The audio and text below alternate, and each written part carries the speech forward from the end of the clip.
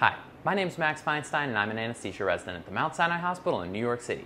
In this video, I'm going to be showing you how to quickly and safely draw medications into syringes and explaining why it is such a crucial skill for anesthesiologists to have, particularly in emergency situations. If you find this video interesting or helpful, I'd really appreciate it if you'd liked it and subscribe to the channel. Let's dive in. One way that anesthesiology is commonly characterized is that it's 95% boredom and 5% sheer terror. And that 5% refers to emergency situations that can unfold very quickly in the operating room that necessitate immediate workup of what's going wrong and treatment so that the patient can make it safely through surgery. Anesthesiology is actually one of very few medical specialties where doctors are directly drawing up medications and administering them to patients. So doing this skill isn't something that's taught widely outside of anesthesiology, nor is it really taught in medical school. In addition to being able to draw up drugs quickly in emergency situations, it's also just useful to be able to draw up drugs quickly on a regular basis. Because it's not unreasonable to think that I might be drawing up drugs maybe 100 times in a day, and if I'm working five or six days a week, that's 500 or 600 times that I'm drawing up medications in a week. So if I can do this quickly, I'm going to save myself quite a bit of time while I'm in the operating room. And while speed is important, safety is even more important for a number of reasons. The first is that it's actually easier than you'd think to make a medication error where you would say drop the wrong drug or the wrong dose of medication. So being able to draw up drugs safely can help avoid medication errors. And as you can imagine, since you're using a needle to draw medications, there's always a risk of causing an inadvertent needle stick either to yourself, the patient, or someone else who's in the operating room. And keep in mind that a lot of the drugs that we're using commonly in anesthesiology include paralytics and other drugs that can cause really serious problems if accidentally administered. For all those reasons, it's really important to be able to safely and quickly draw up medications into syringes, which I'll get into step by step right now. And if you wait around to the very end, I'll show you a way to make this a little bit more fun while you're at it. The very first thing you need to do before you start handling any medications or anything involved with patient care is wash your hands and grab a pair of gloves.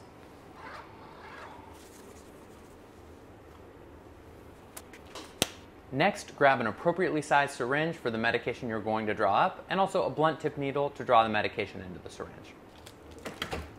Next, get the actual medication that you're going to draw up. In this case, we're going to be using succinylcholine, which is a paralytic that comes in a 10 cc vial, so I grabbed a 10 cc syringe.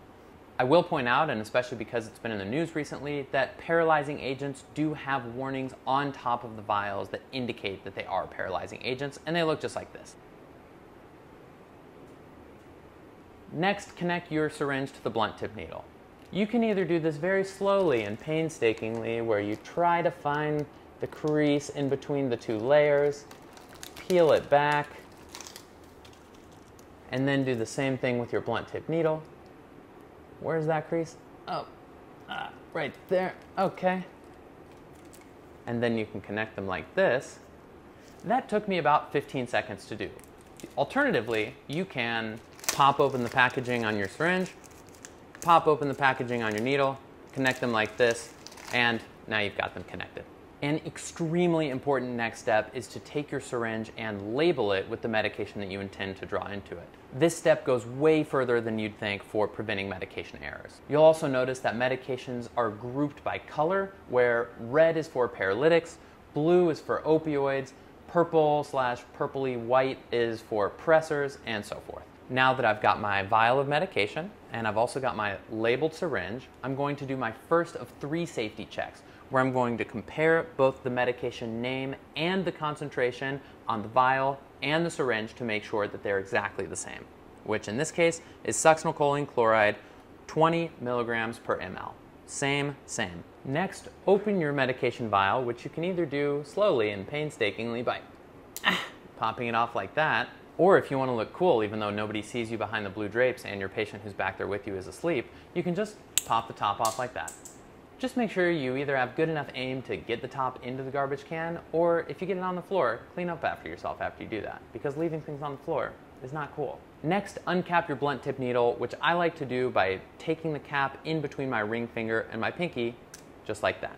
Next, I flip my medication vial upside down like this, where I'm able to very safely put my syringe on my palm and aim it at the medication vial in a controlled fashion. At this point, I also draw back on my syringe to fill it about halfway with air so that I can push this air into the vial so that there's a little bit of back pressure to push medication from the vial into the syringe. This is also where I perform my second of three safety checks, where I again check the name of the medication in the syringe in my hand and also the name of the medication in my vial.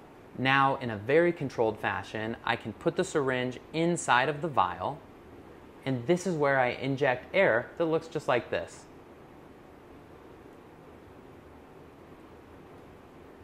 The medication vial is now pressurized, so when I let go of the syringe, it actually fills up partway by itself. As you can see, without me doing any work, there's already about 5 cc's of medication that's been drawn up into the syringe. And then I can go ahead and just draw back on the plunger to fill up the rest of the syringe. It's important to try to avoid getting air into the syringe, but you can always get air out of the syringe once you're done drawing up the medication. Once I've completely drawn up the medication into the syringe, I will do my third safety check by taking the vial off of the needle, again putting my vial side by side with the syringe, and double checking succinylcholine, succinylcholine. I know that it's really redundant to do that three times, but it's extremely important to set a habit of being very safe in drawing up your medication, triple checking everything, and just making that your standard of practice so that you can dramatically reduce the likelihood of a medication error. The last thing that you'll need to do at this point is safely protect this needle tip that you have exposed. Perhaps the safest way to do that is the one-handed scoop technique where you take your cap like this, set it down on a flat surface, and then take your syringe and scoop up the needle tip just like this, which allows you to then cap like that. I will point out that that's not necessarily the fastest way to do it, but it's probably the safest, particularly compared to taking the needle cap in your hand and then placing the needle back into it, where it's much easier in a situation like that to accidentally poke yourself with the needle. And you can imagine that poking yourself with a paralytic like this is probably not a recipe for success in the operating room. Just to show you what it looks like all put together, imagine we're in a situation where there's a cardiac arrest out of nowhere and I quickly have to come to the medication cart and draw up code dose epinephrine. So we can do that really quickly and safely using the techniques that I just showed you right now. Start by grabbing my syringe, a blunt tip needle, open them both, get them connected just like this, medication label, 1 cc vial of epinephrine, double check, double check, pop everything open, a little bit of air in here, draw it up safely like this, and double check, double check, medication's ready to go, air is out, and I can give it. The thing that I mentioned that can be fun is if you set up a little target over your garbage can and throughout the course of your day, see if you can get your target practice by popping the tops of your vials. And like I said, you really should clean up after yourself if you're gonna do anything like this. If you'd like to learn more about the medications shown in the anesthesia cart behind me right here, check out this video that I made where I go through all of the medications in the anesthesia cart with the help of Dr. Erica Fagelman. Thanks very much for watching this video. I hope you found it helpful. See you next time thank you